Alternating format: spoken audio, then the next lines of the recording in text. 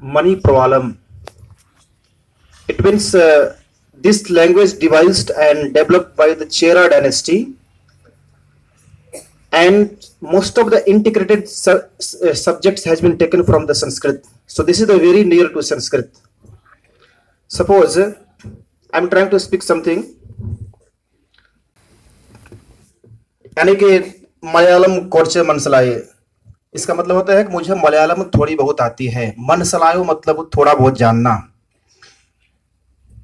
So I would like to request Mahak Alvi please come on the stage and she also able to speak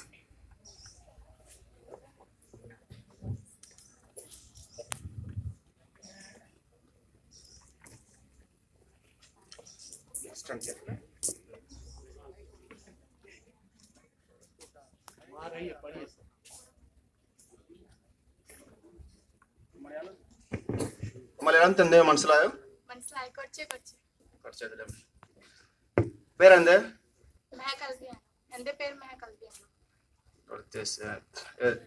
അച്ഛനുണ്ട്